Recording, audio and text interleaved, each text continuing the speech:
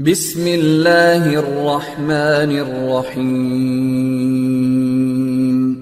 رب زدني علما So the next thing we'll try to understand here a little bit more details about the autonomous access point architecture.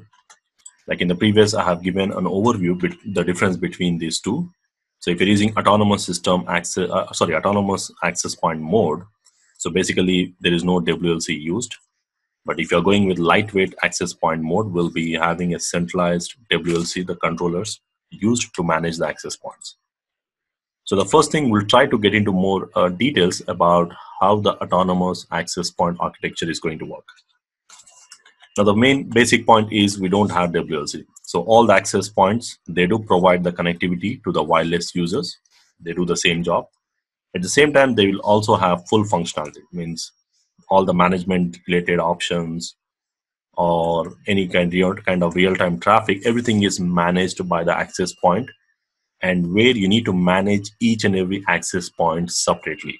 So whether you need to configure the SSIDs or whether you, you need to configure any, any kind of radio frequency channels. So all the settings or security settings like passwords.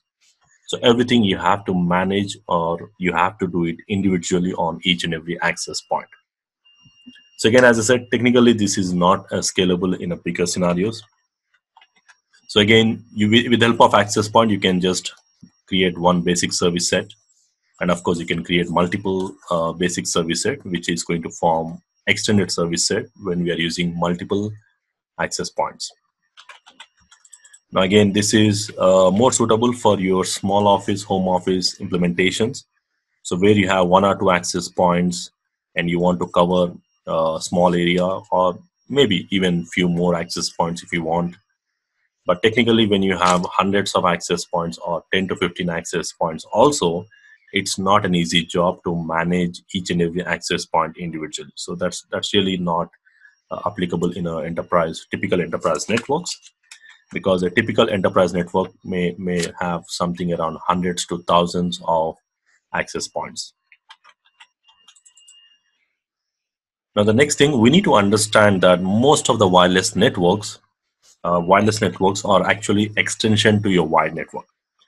So when you're trying to set up any specific network, so basically we do use a wireless. So let's say this is my wireless network. Now this will be acting as extension to your wired network.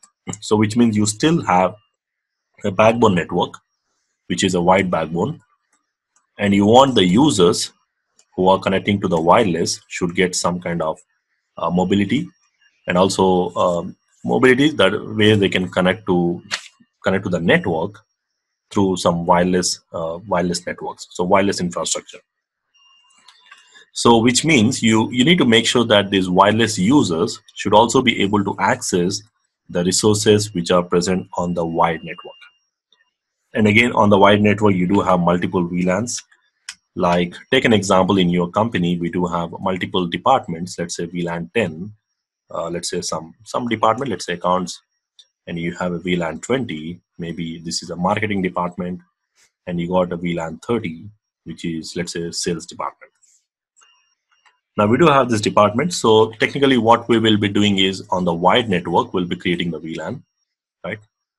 So again based on the VLAN you assign the ports. So logically it is going to separate each and every individual uh, each and every individual departments. And logically it separates and there will be some trunk links. You know the concept of the why so i don't want to get into that. But now the question is we do have a wireless users. Like i do have a wireless users with accounts department and also we do have a marketing department and the sales department.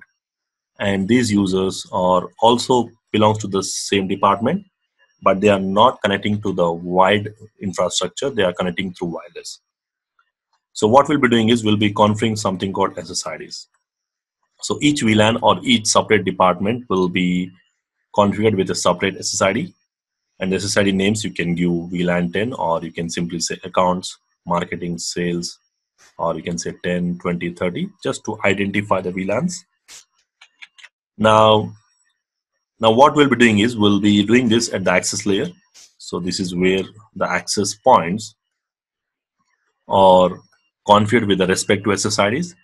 and the user who are trying to connect to this SSID, they will be uh, logically part of a separate logical network. So every user connecting to one common SSID is like one logical separate subnet. And then what we'll be doing is we'll be mapping these specific things like the marketing is mapped with the marketing here SSID and the sales is mapped with sales here. So this is typically done on the access point at the access layer. And again, the links which are connecting between the switches as well as between the access point, they are configured as a trunk link. So this is to ensure that the user of the VLAN 10 uh, traffic, when it is moving to the access point, so it should go on the trunk link, you know, the trunk link uh, job. So trunk link is a link which is going to carry multiple VLAN traffic. So in terms of wireless architecture, so these VLANs will be identified with the individual SSIDs and these individual SSIDs are mapped to a specific VLANs to ensure that any any user who is connecting to this SSID is uh, can still able to access to the resources of the same department even though he is going over the wired infrastructure. So again, as I said, the trunk links, the trunk links uh, need to be configured. Uh, the trunk link need to be configured connecting between the access point to the switch. Of course, between the switch to switch also, you will be having an access point which is going to extend your uh, network architecture further to provide the connectivity between the same VLAN users as well as between different VLANs if you want. Now, when it comes to managing the access point, access points are managed individually, as I said, in the autonomous architecture. So every access point will be having something called management IP address. Like here, you can see the IP address of this access point. Let's say this is 192.168.10.10. So we go to the browser and then we type in 192.168.10.10. So assuming that you do have a connectivity to the access point. So this is more uh, something like, uh, it looks like this. So you log into the access point GUI and from this GUI you are going to configure multiple things like you will configure something like SSIDs or even you you actually map the VLAN as well. And also you you're going to define what will be the radio frequency parameters. And also if you are applying security then probably what is the pre-shared key or the password you will be using for authenticating the users or even you you also need to configure the transmitting power to be used depending upon the location. So there are plenty of parameters you need to configure.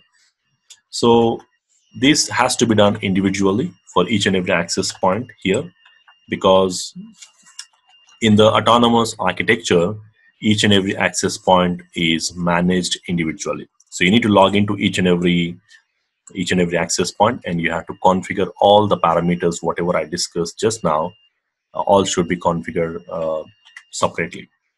So all the access points must be configured and managed individually. You need to log in. That is one option. Or if you're using some kind of management tools, like there is something called Cisco DNA Center now. Cisco Prime Infrastructure is, is being replaced with DNA now.